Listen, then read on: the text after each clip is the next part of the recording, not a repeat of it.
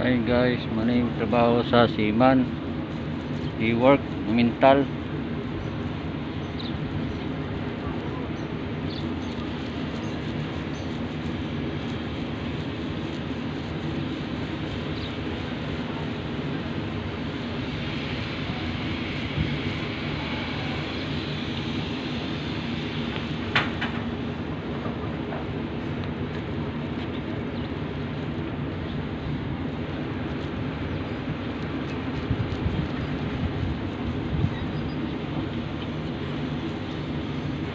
Happy watching.